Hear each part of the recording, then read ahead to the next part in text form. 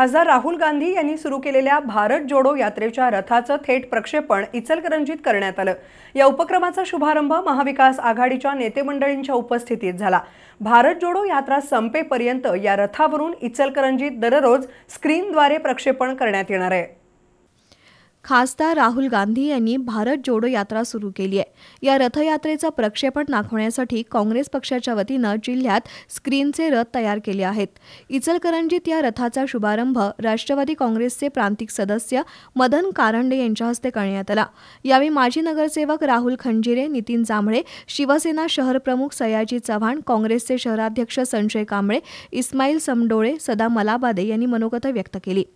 माजी नगरसेवक सागर चाळके यांनी आमदार प्रकाश आवाडे यांची भूमिका आणि त्यांच्या वक्तव्याचा समाचार घेत जोरदार टीकास्त्र सोडलं. या यात्रेच्या निमित्तानं खासदार राहुल गांधी यांना मिळणारा पाठिंबा पाहता दोन हजार चोवीसमध्ये पंतप्रधान नरेंद्र मोदी यांच्या हुकुमशाही कारभाराला जनता चाप लावेल असा विश्वासही काँग्रेसचे प्रदेश सचिव शशांक बावस्कर यांनी व्यक्त केला. यावेळी मीना बेडगे राजू आवळे भूषण शहा प्रमोद खुडे यांच्यासह महाविकास आघाडीतील घटक पक्षांचे पदाधिकारी कार्यकर्ते उपस्थित होते.